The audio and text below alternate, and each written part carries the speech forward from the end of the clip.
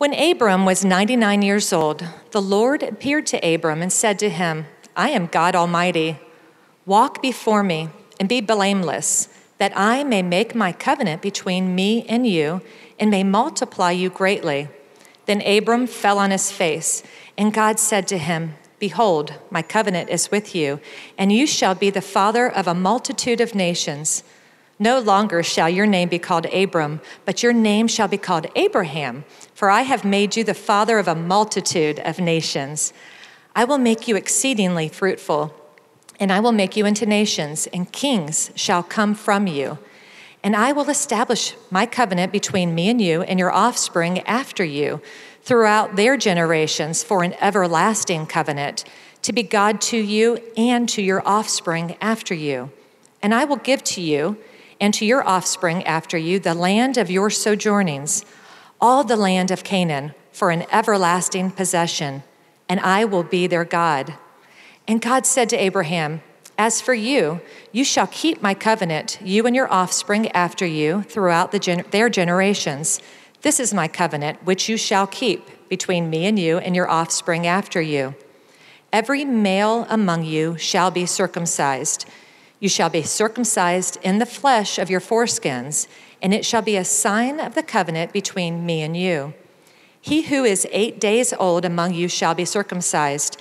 Every male throughout your generations, whether born in your house or bought with your money from any foreigner who is not of your offspring, both he who is born in your house and he who is bought with your money shall surely be circumcised so shall my covenant be in your flesh, an everlasting covenant.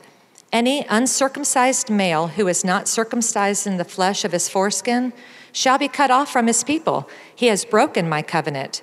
And God said to Abraham, As for Sarai, your wife, you shall not call her name Sarai, but Sarah shall be her name. I will bless her. And moreover, I will give you a son by her. I will bless her, and she shall become nations.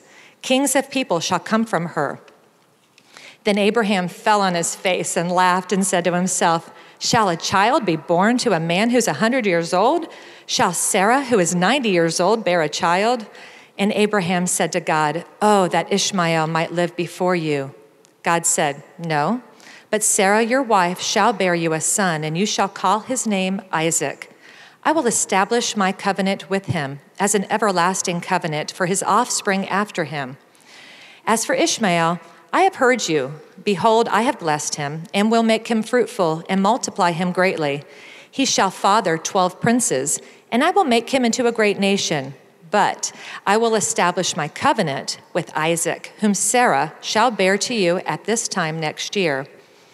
When he had finished talking with him, God went up from Abraham. Then Abraham took Ishmael, his son, and all those born in his house or bought with his money, every male among the men of Abraham's house, and he circumcised the flesh of their foreskins that very day, as God had said to him. Abraham was 99 years old when he was circumcised in the flesh of his foreskin, and Ishmael, his son, was 13 years old when he was circumcised in the flesh of his foreskin. That very day, Abraham and his son Ishmael were circumcised, and all the men of his house, those born in the house, those bought with money from a foreigner, were circumcised with him. Well, good morning, church. Before we jump into the message this morning, I just wanted to take a moment to express appreciation for a couple of matters. First of all, uh, last weekend, my wife uh, kind of vented on Facebook about the struggles we were having getting our son MJ uh, vaccinated. Uh, we wanted to get him inoculated before the wedding in a few weeks for his safety, and just been running into all kinds of bureaucratic red tape. And so she put the call out, and uh, wow did you guys ever tap into your networks and start making calls? And by Wednesday afternoon, we had an appointment set at uh, Rockledge Hospital. And, uh, but then uh, Wednesday night, uh, one of you guys called and said, I talked to the manager of the pharmacist at a certain place, and they have an extra dose and said, if you come down right now, they'll give it to him. And so Wednesday night, we ran down there and uh, we got him inoculated. And, uh, and they actually had an, another dose, and they said, well, you look like you need it. So they gave it to me too. So, uh, and they were right. So thank you uh, just for the, all of your, so many of you were praying and, and tapping into your networks, and it was uh, just the Lord worked through that. Secondly, a few weeks ago, uh, one morning in my office, in Jonathan's office, uh, a couple of elders and some deacons showed up uh, unannounced. And uh, apparently, you guys behind our backs, through your small groups and all that, uh, you participated in, uh, I guess, a, a, program that the National Association of Evangelicals was running. And you know, kind of basically bless your pastor and say thank you to them. And so, you sneakers put together some really nice gifts. And uh, on behalf of Jonathan and I, our families have really enjoyed that. And thank you so much for your love and that expression of appreciation to us. And I hope that you know that we return it right back to you. We love you guys greatly. Well, it's uh, in our chapter here in chapter 17. Uh, just kind of catch us up, right? Uh, we've been in uh, this series on the life of Abraham now. This is the fifth message. And uh, we've seen a new call and a new test uh, a new land last week, a new covenant. And this morning, uh, we're going to see a new sign. It's been 24 years between chapter 17, the new sign, and that initial call that was put upon Abraham's life. 24 years has transpired since Genesis 12, probably 23, 22 years since what, uh, what we saw last week in Genesis 15, where the covenant was inaugurated, has now transpired. And if you remember in those chapters, God made some incredible promises to Abraham that he was going to make from Abraham uh, a seed that would come forth. And in that seed, which we know is Jesus, all the nations of the world would be blessed. That Abraham was going to have so many descendants that it would be impossible for a human being to identify and count them all. That the land that he had been brought to, what we now know as Palestine or Canaan, would be Abraham's and his descendants as an everlasting inheritance, right? And then to ratify the inauguration of the covenant last week, we saw that great scene where the animals were torn apart and God Himself walked through the pieces of those animals, signifying that if He did not bring about what this covenant, the covenant uh, was promising to Abraham, then He Himself should be ripped apart because He was clearly not worthy of being worshiped if this is what occurred, right? And so that's where we left off last week. They're promised a son, and now it's been more than 11 years they wait. In chapters 15 to chapter 16, they wait for 11 years. No son. Sarah finally, you know, hatches a scheme. And she brings to Abraham her handmaiden, Hagar. And as was the practice back in that day in the, in the Near East, this was something that would be commonly done. If a person did not have a natural heir, a man and a wife, they would bring in a surrogate and hope that an heir would be produced. And sure enough, they have a son, Abraham and Agar. His name is Ishmael. And it's clear, as we saw just a few moments ago, as Sandy was finishing up chapter 17, that Abraham was quite fond of his son Ishmael. God promises him a son, another son, and he says, Well, what about Ishmael? Why don't we just use Ishmael as the, as the promise? And God says, No. He's clearly very fond of Ishmael. It's been 13 years since the birth of Ishmael, it's been 24 years since God walked through the pieces of the animal, making this, inaugurating this covenant. And now we come to chapter 17. Abraham is 99 years old, right? He's looking at the end of his life. He thinks he has it figured out, but he doesn't. And so here in chapter 17, God finalizes this covenant that he inaugurated back in chapter 15. Now, there is a lot in this chapter. So yesterday about 2:30 I called an audible, right? The audible is this week we are looking at a new sign. And next week, we are looking at a new sign, okay? So I just said, you know, if I would wear you out if I did justice to the chapter and tried to put it all into one message. So we're going to break it up into two weeks instead. So let's begin with the first few verses where we see the creator of the covenant in verses 1 to 3. When Abram was 99 years old, the Lord appeared to Abram and said to him, I am God Almighty. Walk before me and be blameless, that I may make my covenant between me and you and may multiply you greatly. Then Abram fell on his face. The opening words of this covenantal renewal reveal details about God himself and about how Abraham should understand his place within the covenant. So, for example, in the first time in Scripture, a new name for God is being used El Shaddai, name that was made into a popular song many, many, many, many, maybe 40 years ago, right?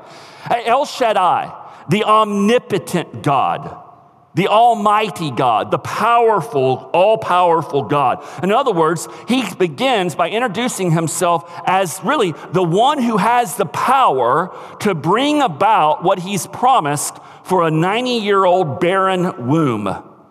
He can bring out a child of the promise, Isaac. He is this Almighty God who has the the power and the right to make this covenant and to finalize this covenant with Abraham. This is his covenant with Abraham.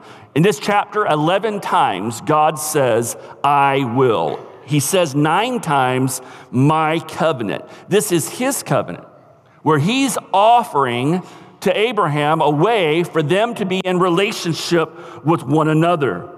And he puts in these opening verses basically a summary stipulation.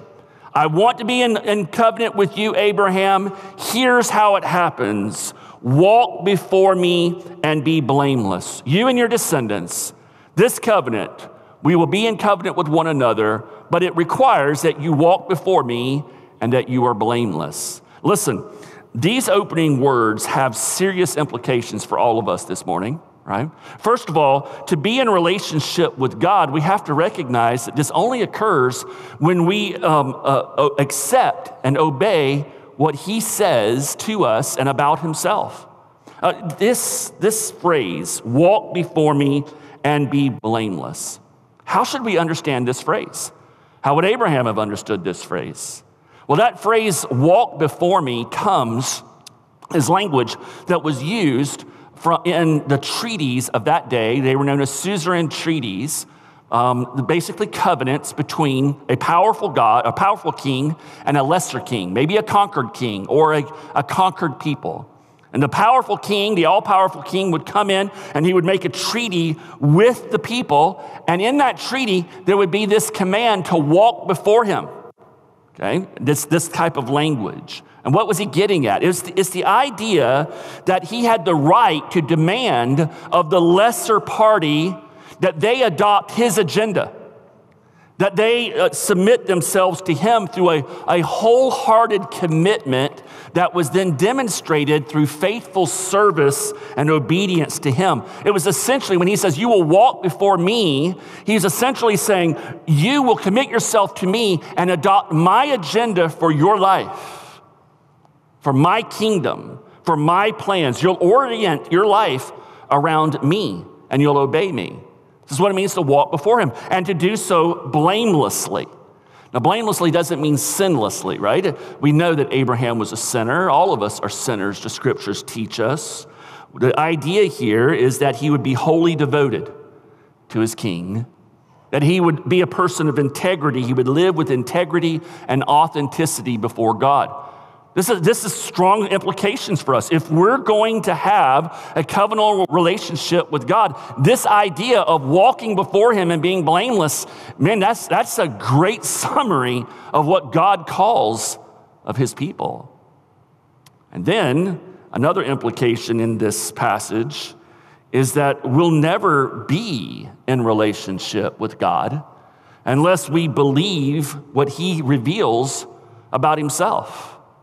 We'll never have a covenantal relationship with God if we don't accept and obey His terms and if we don't believe that He is who He said He is as He's revealed Himself in His Word. You see, this is difficult for people today in our culture because we live in a very individualistic culture where everyone creates their own version of God. We, we project upon God what is most comfortable to us about the God that we want, right? And so we live in a culture that essentially is filled, and we do it too as Christians, by the way. As Christians, we will, we will highlight the things that we like in the Bible and we will kind of ignore the parts that maybe are, make us uncomfortable. And this is the God we worship. And this is called idolatry. This is making God in our own image. And this is an issue. This is a huge issue. And it will, it will prohibit us from ever fully enjoying covenantal relationship with God if this is the way we live our life. Iain Duguid, in his writings on the book of Genesis, says this The real question is not what you would like God to be like, but what he is really like. And he has revealed himself as the God who has made a covenant with his people. When the great king comes and offers to establish a covenant with you, you really only have two choices. You can accept the covenant relationship on his terms and receive its benefits, or you can refuse it and face the consequences. This finalization of the Abrahamic covenant, it's really following this template that you see in the ancient world of the suzerain treaties. Uh, you see this throughout the Old Testament. What we know is the Ten Commandments is yet another manifestation of this kind of ancient covenant and treaty. It's the same template that is in play here. You have this strong, conquering king who enters into an agreement with a lesser conquered people. When the lesser person enters into that covenant, that person is giving up control of their life to that strong king. It's not an agreement of equals, it is the superior to the lesser that's taking place. And when the lesser gives up control of their life, they are essentially placing themselves under the protection and the blessing and the rule of that stronger king. And in those treaties, as they would start out, we saw it in chapter 15, we see it here in chapter 17. They start out with the king introducing himself. That's what he does here in verse 1. This is what he does in Exodus chapter 20, right? The 10 commandments. I am the Lord your God who brought you out of the nation out of Egypt and out of your slavery. They start with this announcement of who the omnipotent king is, and God does this and then after that announcement would then become a section of obligations and stipulations, the conditions of the covenant. And this is what you begin to see in verse 4 with the essence of the covenant that we have here.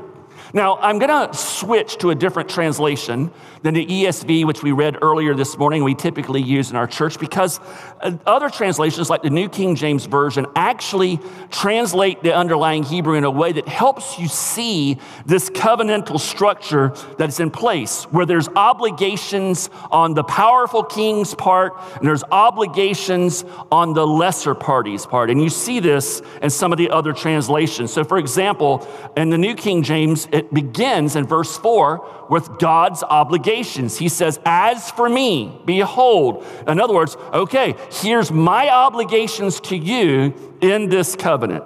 My covenant is with you and you shall be a father of many nations. No longer shall your name be called Abram, but your name shall be Abraham. For I have made you a father of many nations. I will make you exceedingly fruitful, and I will make nations of you, and kings shall come from you. And I will establish my covenant between me and you and your descendants after you in their generations for an everlasting covenant to be God to you and your descendants after after you. Also, I give to you and your descendants after you the land in which you're a stranger, all the land of Canaan as an everlasting possession, and I will be their God.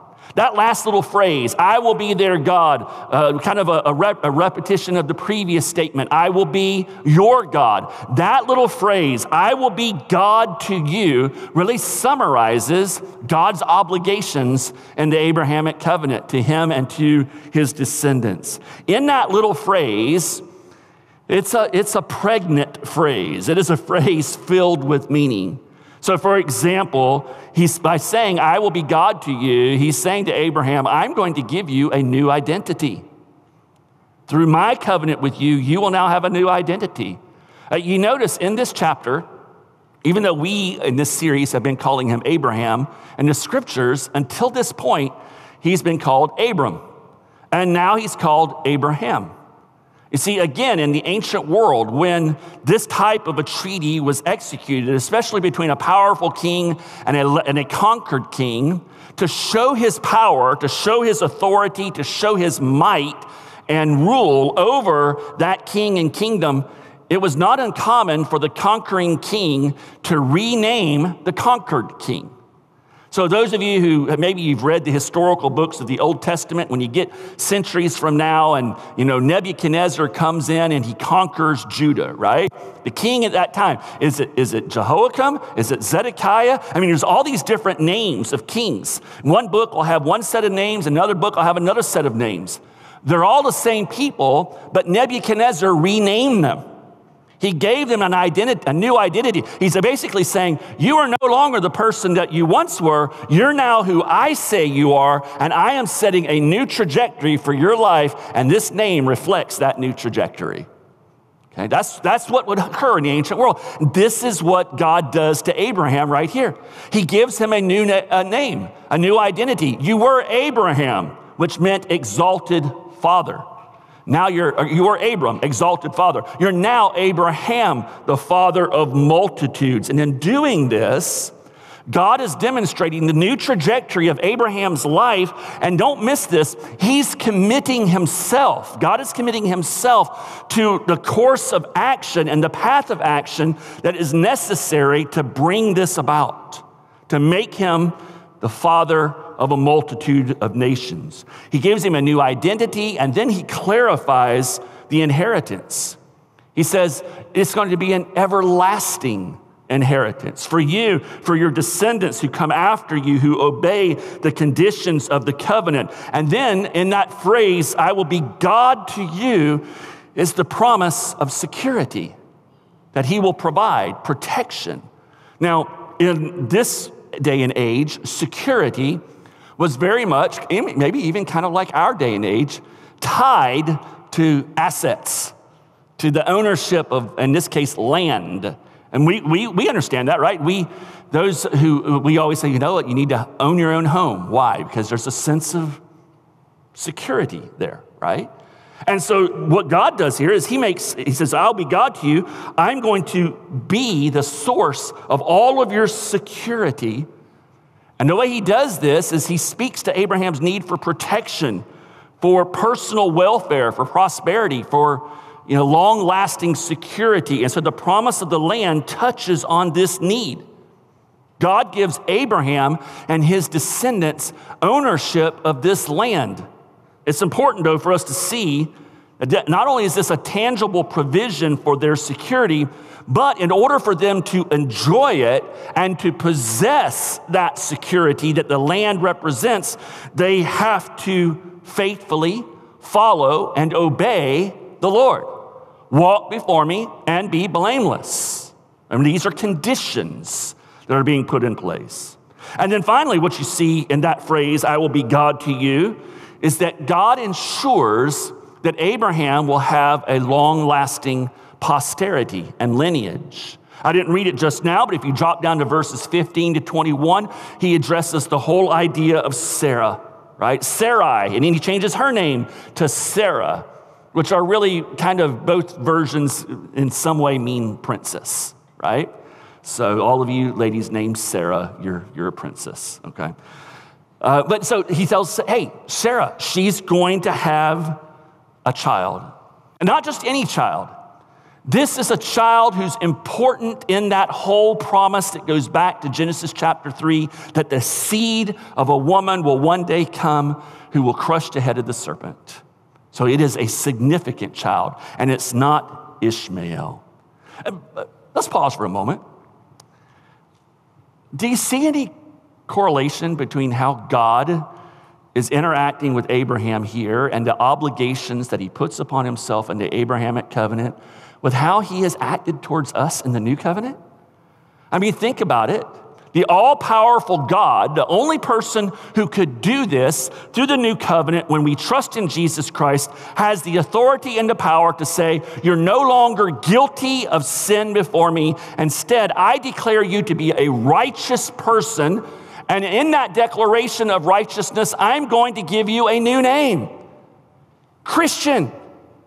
You're now a Christian. That's your identity. It's in Jesus Christ. And this identity brings with us an inheritance like Abraham's, an everlasting, eternal inheritance of life with the promise of security. That when we have been placed within the hands of our Lord Jesus Christ, no one can ever take us out of those hands. No one can ever remove us from the family of God. He says, I will never leave you, I will never forsake you. And then he gives us this posterity, this lineage by, in some cases, those who maybe lost family. And that the movement into the new covenant, he says, I'm going to give you a family that you can't even begin to number. It'll be like the sands of the sea. And in Revelation, we see this scene where we are gathered together with our eternal, invisible family that we can't see right now, but God sees. And it's His church and it's His people through all the ages. And we join in, and this is our lineage. The way God works towards Abraham is exactly the way God works towards us in the new covenant. Remember, in the old covenant, the new covenant is concealed. In the new covenant, the old covenant is revealed. And this is exactly what we have going on here. We do not serve a God church that is schizophrenic that has split personalities, and he acts one way towards one group of people, the Jews in the Old Testament, and he acts a different way towards Gentiles in the New Testament. No, we do not worship a schizophrenic God. He is the same today, yesterday, and forever. He is this God of grace who brings his grace to Abraham in this covenant, and in the same way, he brings it to us. The only difference is what side of the cross are we on? This is God's obligation. I will be God to you. Abraham's obligation is pretty simple. You shall keep my covenant, right? And God said to Abraham, As for you, now it's your obligations conditions and stipulations Abraham, you shall keep my covenant, you and your descendants after you throughout their generations. This is my covenant which you shall keep between me and you and your descendants after you. Every male child among you shall be circumcised. Dr. Sidney Greidanus, in his writings on the book of Genesis, makes a great observation how the Abrahamic covenant there's a significant difference in the Abrahamic covenant and in the, um, the, the covenant with Noah. And the covenant with Noah, the sign of the covenant uh, was the rainbow, and it was a sign that was something that God did to indicate his commitment to us. In the Abrahamic covenant, humanity indicates their commitment to God through the application of the sign of the covenant. This is what it means in this and these first initial verses to walk before God and to be blameless before Him or to keep the covenant through circumcision. I mean, one obligation to circumcise the males. Now, guys, I, have joked with some others that I was tempted for all of you kinesthetic learners this morning to plant flint knives throughout the congregation so you could really grasp the, the gravity of this sign, but I didn't do that. Uh, but it is, the, it is a, it's a serious uh, thing that God is calling for here, right? And it may seem like, okay, all, all I have to do is, you know, they have to be circumcised. And now from now on, the, the boys are circumcised, and the, the women were brought into that through the oversight of the males and their families. So they were included in the blessings of this Abrahamic covenant through that, that headship that was implied through the, the men of the family. But this obligation is actually a very loaded obligation. There's more going on here than just simply, okay, just get the sign. The, the, the, Jews, through the decades and through the centuries, they would reduce it to, okay, I just get the sign and now I'm good. That's not what God is saying at all. Dr. Green, who writes this, he says, in contrast to God's covenant at Sinai, which had 10 covenant stipulations, the Decalogue, the 10 commandments, here there's only one covenant stipulation every male among you shall be circumcised. Why just one stipulation? Derek Kidner explains to be committed was all. Circumcision was God's brand. The moral implications could be left unwritten until Sinai, and that's where the Ten Commandments were issued. For one was pledged to a master first, only secondarily to a way of life. But then Dr. Greidanus makes a great observation. He says, But in the very next chapter, that way of life is already summarized to keep the way of the Lord by doing righteousness and justice. In other words, by accepting and applying the sign of the covenant, circumcision, which was the essential obligation of the Abrahamic covenant, that sign had deeper meaning. It meant to walk before the Lord and be blameless, to keep the way of the Lord by doing righteousness and justice. So that brings us to the uh, final point that we'll cover this morning, or at least part of it the sign of the covenant itself. You shall be circumcised in the flesh of your foreskins, and it shall be a sign of the covenant between me and you, and to spare you the discomfort I mean, how many times does this passage talk about being circumcised in the foreskin of, and the flesh of your foreskin? It's just over and over, it's reiterated, it's pounding it home, right? This is the sign of the covenant. So we need to pause for a moment, and this is really where we will stop here uh, this morning and we'll pick up next week. What does it mean when the Bible uses the word sign? We need, to, we need to understand what this concept of a sign means. It's important, okay? So let's just, we're gonna start it this week right now, and then uh, we're gonna close out and we'll pick up next week, okay? So, what does a sign do? You ready? This is deep. Here it is it signifies. You ever notice that? In the word signify is the word sign, right? A sign signifies. In other words, it informs us, it announces something to us. It symbolizes or it illustrates an important reality that we need to understand. We need to get our heads around and our hearts around it. So, several years ago, in 2016, uh, on my sabbatical, I was, uh, I was camping in North Carolina, mountains of North Carolina. And there's a section in North Carolina called the tail of the dragon. How many of you have ever driven the tail of the dragon? Yeah, yeah.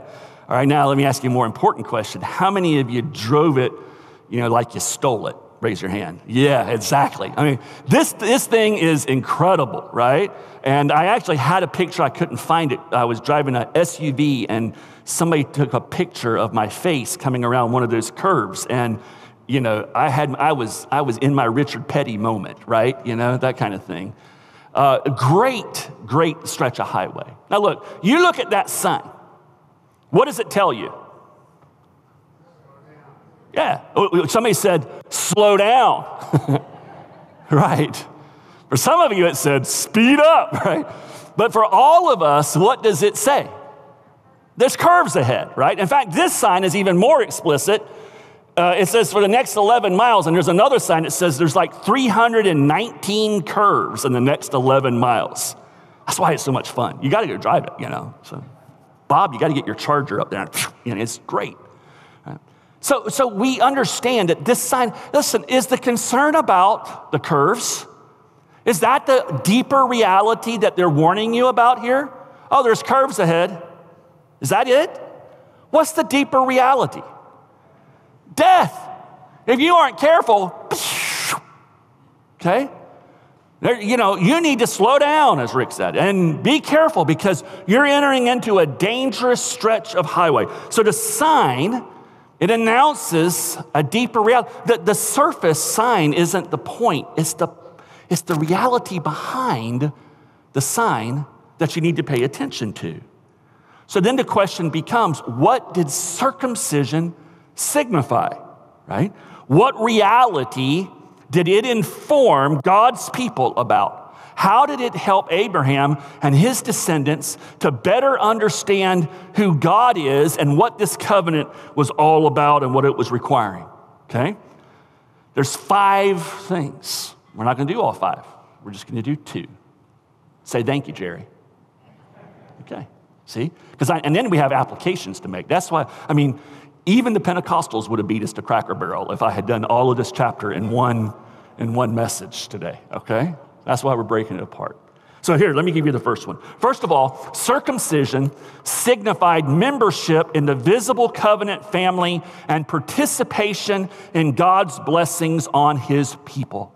It signified that you were now a member of the visible family of God, and as a result of that membership, you were allowed to participate in all of God's blessings upon that visible covenant family It says in verse 12, He who's eight days old among you shall be circumcised, every male throughout your generations, whether born in your house or bought with your money from any foreigner who is not of your offspring. Any uncircumcised male who is not circumcised in the flesh of his foreskin shall be cut off from his people. He has broken my covenant. In other words, let's just, let's just so we're clear, if you did not receive the sign of the covenant, if you were born in the family line of Abraham, or you were in the household of, because they had servants and slaves back then, and so you were, you came under the authority of that head of household, and you were male, and you did not have circumcision applied to you, then you were not in the family of God. You were outside the covenant family. You had no right to expect any of the blessings of this covenant to be applied to you and to enjoy it. So the sign joined you to the visible family. Second and last this morning, circumcision is a physical outward sign which points us to a deeper spiritual reality. The sign points to something, right? The curves point to death. Slow down. Circumcision is pointing us to a much deeper spiritual reality. And what is that spiritual, that deeper spiritual reality? The scripture makes it clear. It's pointing us to the fact that everyone needs the spiritual filth and decay and uncleanness of their lives to be cut away and to be removed. And this is something that only God can do through Jesus Christ. We, we see this in the earliest pages of the Old Testament. For example, in Deuteronomy chapter 30, verse 6, the Lord is speaking. God is speaking to his people, and, and this passage, of course, Jesus will refer back to as the greatest commandment, right? The Lord your God, he says, will circumcise your heart and the heart of your offspring, so that you will love the Lord your God with all your heart and with all your soul, that you may live. Uh, you have a problem, he says. Humanity, you're unclean. You don't just need the circumcision of the flesh, you need the circumcision of the heart. This transcends our sex, male, female. This is every human being. We are born dead in sin. All have sinned, fall short of the glory of God. We are all dead in our trespasses and sins. And he says, This must be cut away. This dead heart has to be circumcised made clean. Later, through the prophet Jeremiah, he will say this to the people of Israel Circumcise yourselves to the Lord, remove the foreskin of your hearts. O men of Judah and inhabitants of Jerusalem, lest my wrath go forth like fire and burn with none to quench it because of the evil of your deeds. Wait a second, Jerry. You just said that only God can circumcise This says circumcise yourselves. So this is the, the language of the Abrahamic covenant. Walk before me and be blameless. Remember, the sign of circumcision is, is a different sign than the Noahic covenant. The Noahic covenant, God just puts the sign out there every time we see it. It's God doing it. With the Abrahamic covenant, with the new covenant, right? Through faith, we participate in this covenant. And we come to God walking blamelessly before Him, humbly, confessing who we are. Uh, listen, it says, circumcise yourselves to the Lord, remove the foreskins of your heart. Even the very desire to come to God, to have this happen in your life, here's the paradox of the gospel. That's already the evidence that God is working in your heart, circumcising your heart. And so the question that we conclude with this morning is this What kind of heart do you have? Do you have a heart to use the language of the Old Testament, that has been circumcised by God?